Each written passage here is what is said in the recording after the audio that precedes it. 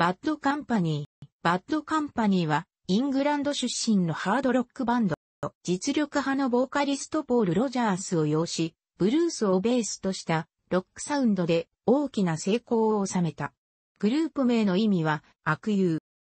ボーカルのポール・ロジャースとドラムスのサイモン・カーク、元フリー、ギターのミック・ラルフス、元モット・ザ・フープル、ベースのボズ・バレル、元キング・クリムゾンの4人によって結成。前身のフリーよりもシンプルで洗練されたサウンドを持ち味としており、1974年のデビューから1982年までに6枚のアルバムを発表し、その多くがアメリカでプラチナムセールスを記録るなど、本国イギリス以上に北米で高い人気を誇った。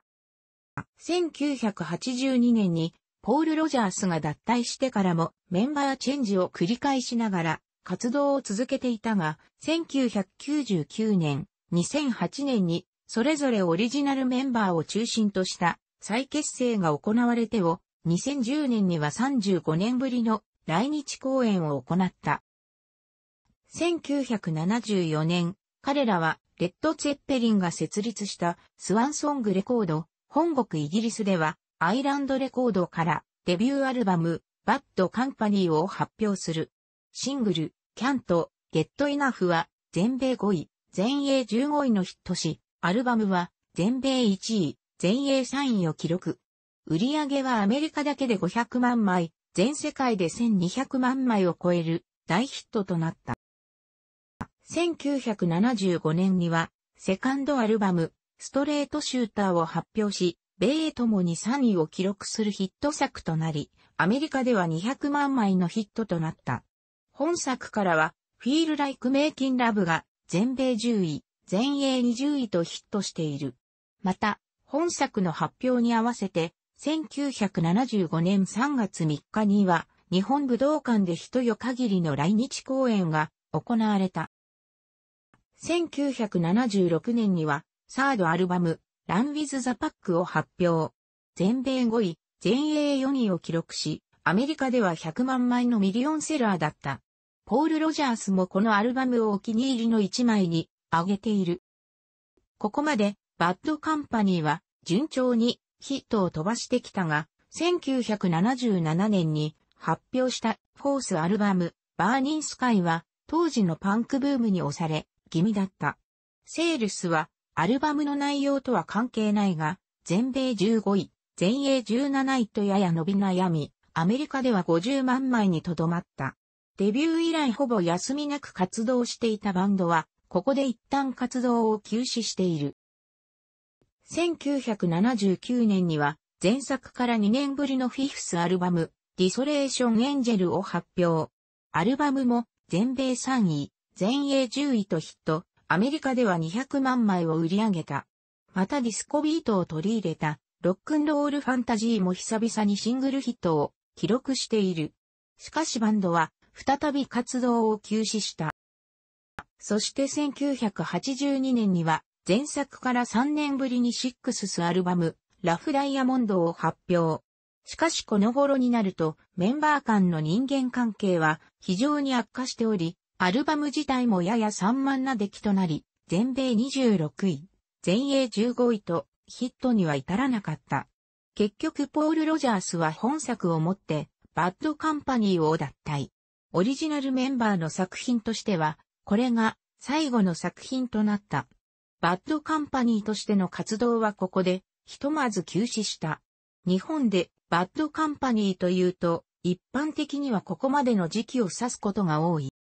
ポールはソロ活動の後、ジミー・ページとザ・ファームを結成。一方、残りのメンバーは、1986年に元テッド・ニュージェントバンドのブライアン・ハウをボーカリストとして起用し、バッドカンパニーを再始動させる。すぐ、ボズバレルが脱退したものの、スティーブ・プライスやフェリックス・クリシュといったサポートベーシストを起用して活動を続ける。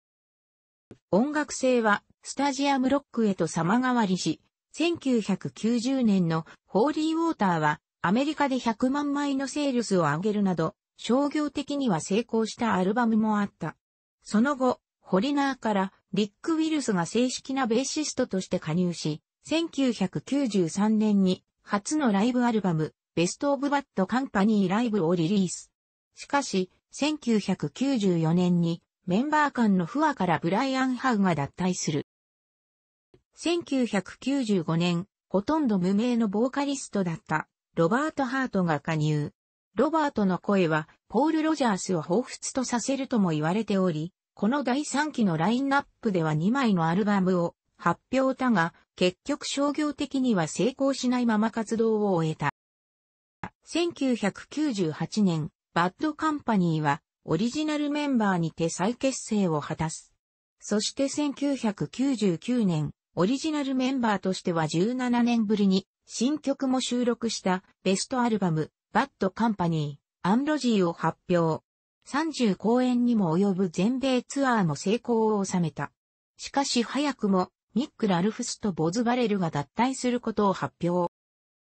2002年、オリジナルメンバーのポールとサイモンに加え、96年加入のデイブ・コールウェル、ギターとポールのソロバンドで活動していたジャズロクリー、ベースと共に全米ツアーを、こう、ライブ版及び DVD、インコンサート2002を発表した。この時ポールはこのまま、バッドカンパニーとしての活動を活性化させてゆく可能性も示唆していたが、その後はソロアーティストとしてツアーを行うなどしてバッドカンパニーとしての活動は停止していた。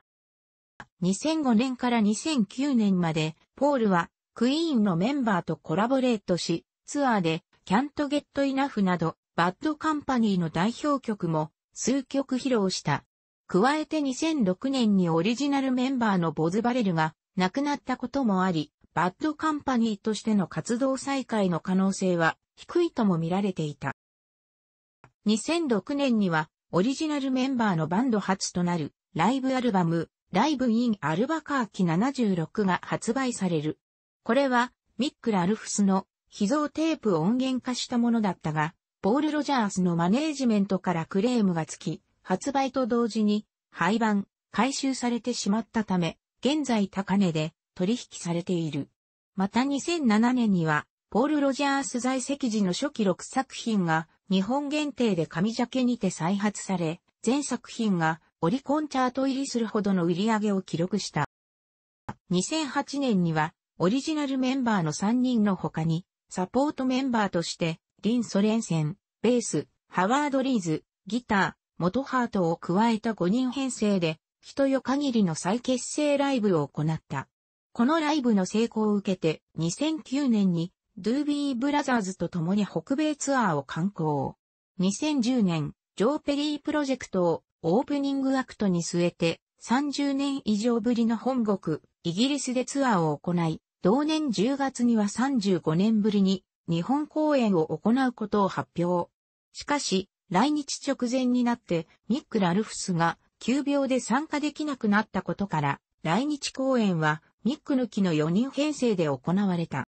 2013年、ポール、ミック、サイモン、ハワードの4人に、ベースのトット・ロニングを加えた5人編成で活動を再開。北米ツアーを開催する。2016年、ミック・ラルフズが脳卒中のため離脱。楽しくご覧になりましたら、購読と良いです。クリックしてください。